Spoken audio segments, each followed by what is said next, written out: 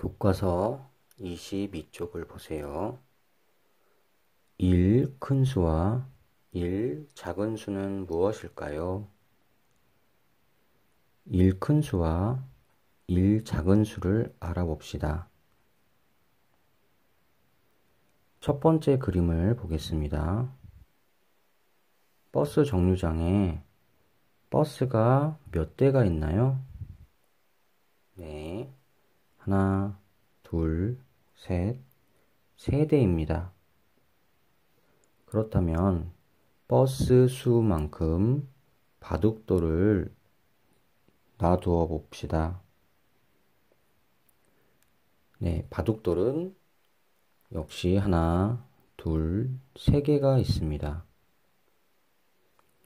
이것을 수로 나타내면 얼마일까요? 네, 바로 3입니다.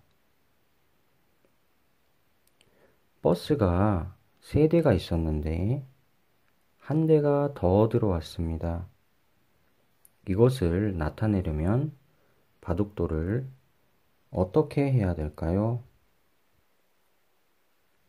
네, 바로 바둑돌을 3개보다 하나 더 그려주어야 합니다. 따라서 하나, 둘, 셋, 넷. 바둑돌의 수를 4개 두어야 합니다. 그렇다면 버스가 3대가 있었는데 한 대가 들어왔기 때문에 버스는 모두 몇 대가 되나요? 네, 바로 하나, 둘, 셋, 4대가 됩니다. 결국 3보다 1 큰 수는 얼마일까요? 네, 바로 4가 됩니다. 3보다 1 큰 수는 4입니다. 자, 이번에는 아래쪽 그림을 보겠습니다.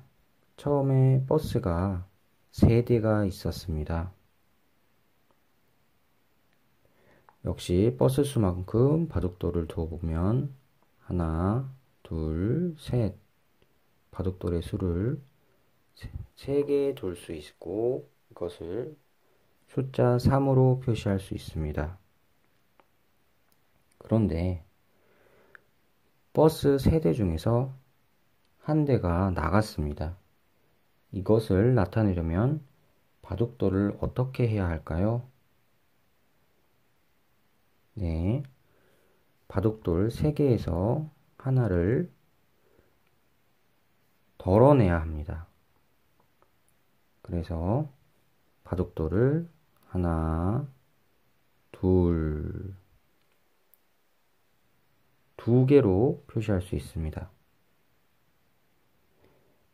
버스 세대에서 한 대가 나갔습니다.